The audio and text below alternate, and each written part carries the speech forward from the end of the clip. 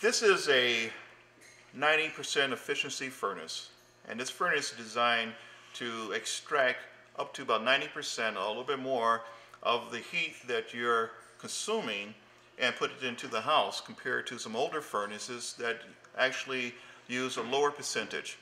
Now the components of this furnace is, here is the, uh, the burner section and behind it is the combustion uh, section where the flames actually shoot a flame inside of the combustion chamber.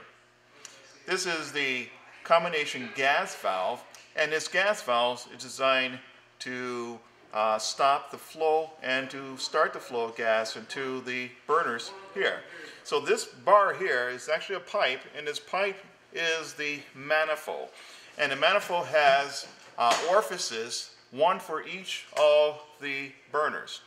So as this is energized by 24 volts, it will allow gas to flow through the pipe into the manifold and through the orifices into the burners and the flame will go inside of the combustion chamber. The other component of it, because of the high efficiency of the furnace, it has a induced draft motor. This induced draft motor is designed to force air into the heat exchanger to remove the flue gases.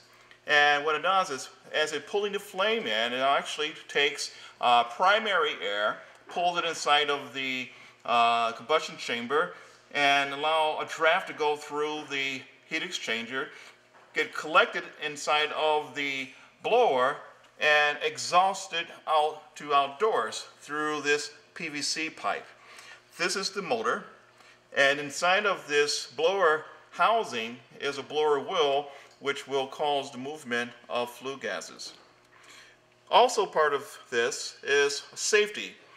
There are safeties, which is our pressure switches, to allow the system to sense that there's airflow through the flue gases through the combustion chamber. Uh, the problem is if there was no type of safety, it can cause a problem with the, if the blower didn't operate, and cause the flame to overheat the furnace and cause destruction. So this is actually sensing uh, movement of airflow through the combustion chamber. This particular one has two different uh, pressure controls.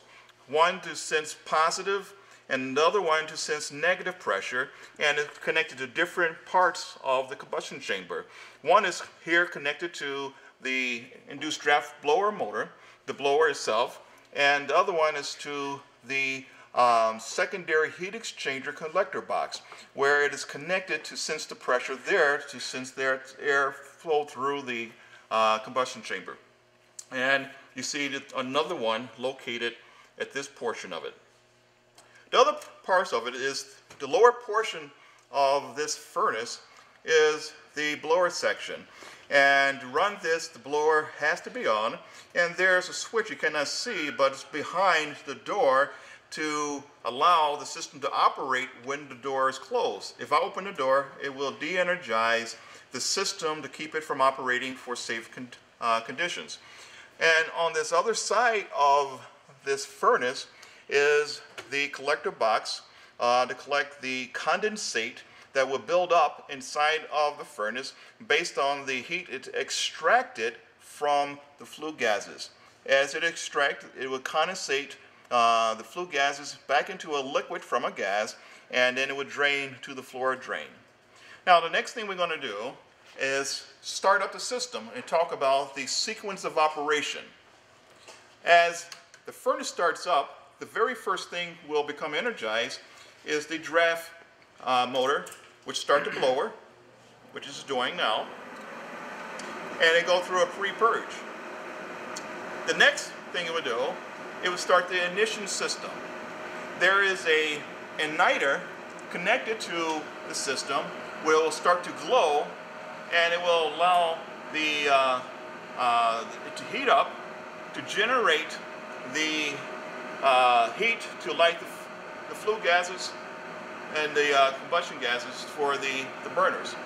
Once the burner lights, it would prove that there's a flame by the flame sensor.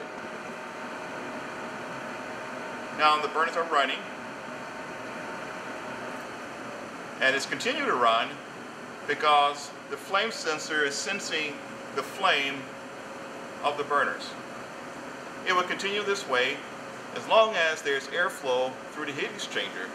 There's multiple safety controls such as a high limit control, rollout switch, another rollout switch designed to protect the furnace in case if there's overheat built up inside of the uh, combustion chamber.